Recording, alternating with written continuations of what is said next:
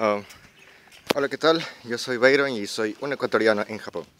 Eh, el día de hoy es martes, martes 29 de septiembre. Y estoy muy emocionado porque el día de hoy Google va a presentar en un evento los nuevos teléfonos Nexus. Me encantan los teléfonos Nexus. Siempre quise tener uno, pero nunca pude conseguir un teléfono Nexus eh, nuevo. Eh, ni por Mercado Libre de Ecuador, todos estaban usados, o sea, no pude encontrar nuevo, no sé por qué no, no pude encontrar ningún, nunca, no, no pude encontrar un Nexus así en Ecuador, entonces uh, me conformo con este celular, pero sí me gustaría tener un Nexus algún día, y el día de hoy Google va a presentar un evento en el que va a presentar los nuevos teléfonos Nexus, hay dos teléfonos nuevos, el Nexus 6P y el Nexus 5X, no estoy muy informado todavía, pero sé que van a salir esos nuevos celulares y me gustaría tener uno de esos. Si mal no recuerdo, el fabricante es Huawei, Huawei eh, para el Nexus P, 6P. Entonces, me gustaría tener uno de esos.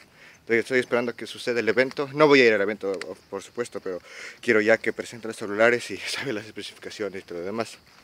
Ah, el día de hoy, ah, no, como no tengo un tema en específico, este, el fin de semana mi primo nos conectamos con mi primo y empezamos a, hablar.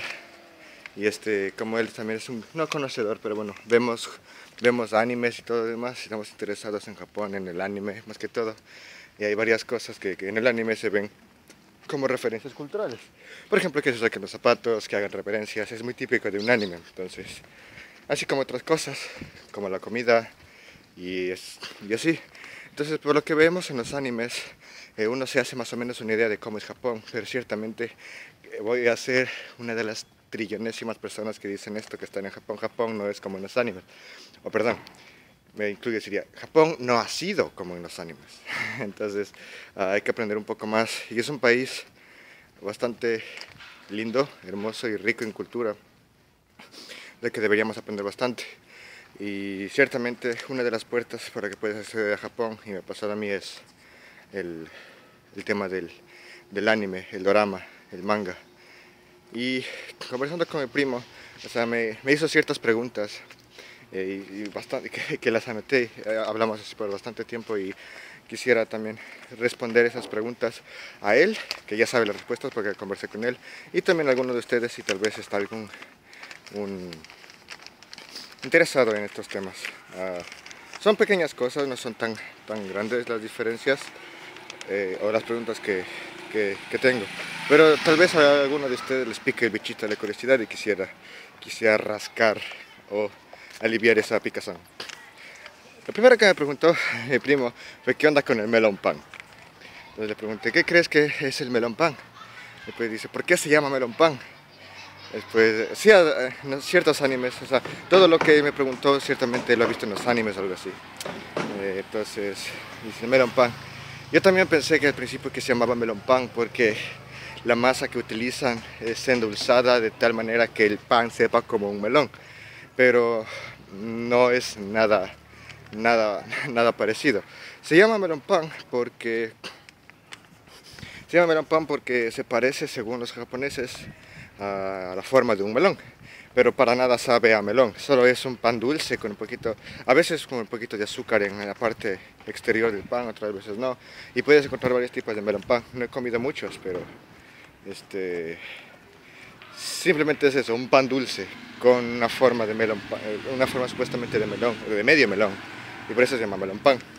Ah, quisiera también mencionar que ayer tuve la oportunidad de ver la hermosa luna roja del eclipse del eclipse total de luna o algo así que ha sucedido. Ayer estaba saliendo de clases y vi algo extraño en las montañas que era algo rojo.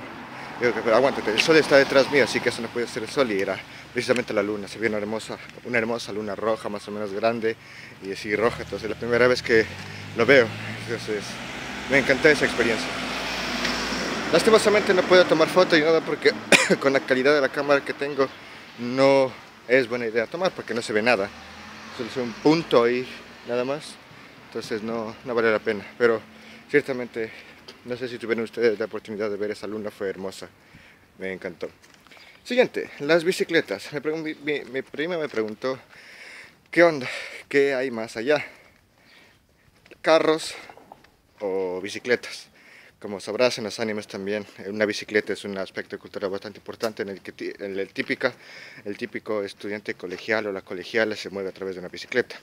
Y este, yo le dije que, bueno, a mi parecer aquí hay más bicicletas que carros, precisamente porque creo que las bicicletas, como les dije aquí, son consideradas vehículos y se pueden usar como vehículo cualquiera, los tienes que matricular y todo lo demás, pero por ser, uh, por ser algo pequeñas o angostas son un poco más versátiles para moverse entre, entre eh, para moverse por las calles uh, que los carros. Incluso los carros aquí son demasiado pequeños, son unos cuadrados chiquititos, unos cubitos ahí súper compactos. También hay carros grandes, pero la mayoría son súper compactos así por la, el tamaño de las calles. Uh, este, también hay algo muy popular son las motocicletas, pero pero uh, son igualmente pequeñas. Así, no sé cómo se llama ese modelo de motocicleta, pero son así como pequeñas. Y le dije a mi primo que busque en, Google Imágenes, se, parece, se parecen a las, a las motocicletas Fagio de GTA Vice City, de Grand Theft Auto Vice City. Pon Fagio con dos Gs, F-A-G-G-I-O. Y más o menos ese tipo de motos son las que más abundan aquí. Y a decir verdad no se mueve muy rápido, que digamos. O sea, mm, eh, no es que tú te compras una moto y vas a toda madre aquí, porque las calles siempre, bueno, la mayoría del tiempo están eh, despejadas, pero igual, aunque estén despejadas, no es que puedas correr. Entonces, por eso la gente necesita algo como que para moverse. Eh, rápido, pero no tanto. Entonces, por eso optan por esas, por esas motocicletas. Y más que todo, porque igual el espacio aquí es reducido, no te puedes dar el lujo de tener una mega motocicleta. Siguiente tema. No sé si lo habrán notado, o no sé si he filmado más bien, para que lo noten ustedes, este, acerca de las máquinas expendedoras. Eh, nos, dieron un dato muy curioso, y es que no, no estoy seguro de cuántos de cuántas este, personas hay aquí en Japón, pero el, último dato que encontré es que somos como aproximadamente 127 millones de, de japoneses en una isla más pequeña que Nueva Zelanda. Estoy haciendo una cita a Unrested. Ah, pero bueno, a 127 millones de personas. Nos dijeron en la semana de orientación que existe un promedio de una máquina expendedora por cada 13 personas aquí en Japón. Haciendo los distintos cálculos eh, me salieron como 9 millones o 8 8 y medio millones de máquinas expendedoras aquí.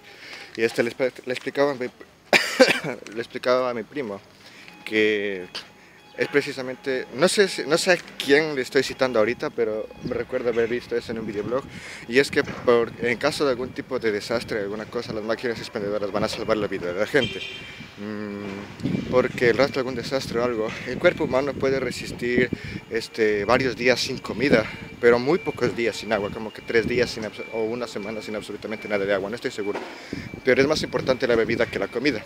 Entonces, el rato algún tipo de desastre o algo, este las o sea, en, plan apocalíptico y así súper, súper exagerado, así los japoneses se van a, no, o sea, no son salvajes, se van a turnar y todo lo demás, en organizados que son, pero estas máquinas expendedoras de alguna manera se tendrán que desbloquear o algo en caso de desastre y de ahí sacas las bebidas y repartes a las personas afectadas.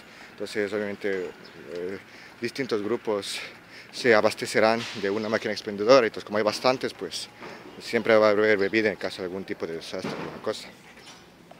Respecto a eso también de las máquinas expendedoras es que eh, también nos dijeron en la semana de orientación muchas de las cosas, o sea, quisiera evitar hablar como si conociera este país porque en verdad no lo conozco del todo. Lo que les estoy diciendo son lo que yo he preguntado, lo que me han dicho profesores o superiores aquí en Japón.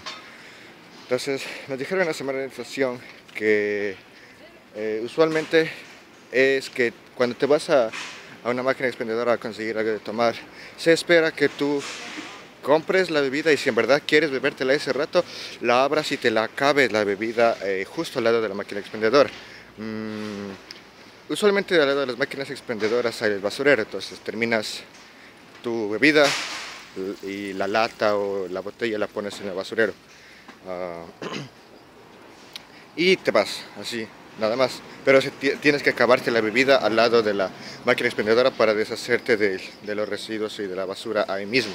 O en el caso contrario, este, te acabas la bebida, pero te vas llevando la basura a tu casa. Si es que no hay basurero cerca de la máquina expendedora, porque hay máquinas expendedoras que no tienen basurero. Ah, entonces, te acabas la bebida y si no hay basurero, te la guardas, te la, guardas la, botella o la lata, lo que sea, en tu mochila y después hacer eso en la casa. Lo que sí, lo que quiero decir con esto es que no está bien visto como que comprar una bebida, verle ese rato e irte la bebiendo eh, mientras caminas hacia donde tengas que caminar. Eh, mientras caminas, mientras caminas está mal visto que vayas bebiendo algo, no sé, una lata, eh, una botella o lo que sea en, en, el camino. Está visto como una actitud ensuciadora. En inglés es littering, littering, littering. Es como que una actitud ensuciadora, o sea, no está, no está muy bien visto. Pero obviamente los japoneses, hay japoneses que lo hacen. Y, y si lo haces nadie te va a decir como, o sea, como ecuatorianos mal llevados, que, ah, no, o sea, que, que, si no hay castigo, nos vale mierda las reglas. Ah, no es que alguien te va a decir, no, eh, está mal, no tomes las bebidas por la calle y todo lo demás, pero siempre hay mejor que evitar eso. Ah, nadie te va a decir nada, pero bueno, si, no, si nos lo dijeron es por una cosa, entonces es ah, beber beber mientras caminas o comer incluso también, aplica también a la comida, comer mientras caminas no está bien visto. Y aquí un tema anidado es que no hay muchos basureros como en Ecuador. En Ecuador ya extraño los basureros porque cada dos por tres hay un basurero y la maldita y la gente, así no sé si es por cargosos o no sé, la pereza, la pereza de coger, acercarse a un basurero y botar la basura ahí. Acá no hay basureros cada dos por tres, acá los basureros en las calles son muy escasos, entonces la mayoría de veces cuando tienes basura te la guardas y después la botas cuando tengas oportunidad. No hay basureros cada dos por tres. Saludemos. hay más.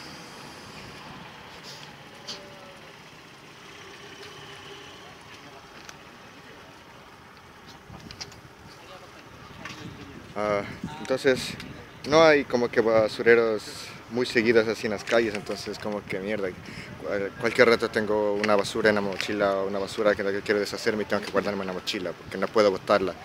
No es como en Ecuador que hay basureros, entonces yo me acerco y boto ahí en el basurero, pero así, eso pasa. Ah, ¿Qué más? Otro de los aspectos culturales de Japón que he visto, yo también he visto en distintos animes y que mi primo también ha visto y me preguntó, es acerca de... Me preguntó así literalmente ¿Has probado esa, esa cosa, ese, ese, líquido que te viene en una botella con una, una, bolita de cristal en la botella? Ya, entonces ya sé, eso yo también ya sé de, de qué estaba hablando. Esa cosa se llama ramune. Ramune. Ah, es una bebida, bueno, lo he tomado solo una vez. Es una bebida transparente, sí, como agua. Parece como que es agua saborizada, pero con una mínima cantidad de gas. Es tan y es tan, es tan baja la cantidad de gas que tiene el ramune que solamente como que te cosquillea la boca. No es como el gas de una Coca-Cola o de una Pepsi o de las quíntuples de uva que tienen full gas o de la, incluso la Wittig, o sea, el, gas es casi mínimo, casi nulo. Ah, y, es agua saborizada. Entonces puedes encontrar, este, ya sabes, sabores de manzana, eh, durazno, naranja, cereza, eh, ya dije manzana, ya manzana. Ah, y puedes encontrar eso en, en, varios sabores. Este, el ramone, no estoy seguro, pero creo que por esa cuestión de la bolita de cristal, el ramone, la, la bolita, la canica es de cristal. Y, y la botella del ramone también es de cristal. Entonces todo el recipiente del ramone está hecho de cristal. Este, ya, te digo, es una agua saborizada con una mínima, mínima o casi nula cantidad de gas. Eh, creo que convendría venirle, beberla fría. Ah, ¿Qué más? Bueno, el resto de, temas, este, ya cubrí como un, dos, tres, cuatro, cinco temas. Ah, y me estoy acercando a mi destino, así que tengo una lista entera de temas, pero no, no voy a alcanzar a mencionar todos aquí. Espero poder seguir haciendo los videos y mencionarles un par de cositas intrigantes o trivias efectos, eh, hechos, unos pequeños hechos de los que mi, primo me preguntó para poder sacar temas para hacer los videos. Ah, ahorita noto que hay mucha gente, bueno, supongo que es porque estamos casi a la mitad de la mañana, son como las 10 y media de la mañana, tengo clases a las 11, así que estoy a tiempo. Ah, ¿Qué más? Bueno, nada más. Eso es un par de, un par de trivias, un par de eh, curiosidades y hoy preguntas eh, acerca de lo que se ve en los animes aquí en Japón. Voy a hacer otras partes con este tipo, mismo tipo de preguntas. Si tienes algo que quieras saber, o ya sabes, la típica, y si quieres, si quieres saber algo, o tienes una pregunta, o sugerencia, lo que sea, por favor deja en los comentarios. Mm, haré lo posible para poder responderte. Ah, creo que sin más ni más me gustaría despedirme. Yo soy Byron, una ecuatoriana en Japón y nos vemos la próxima. Chao.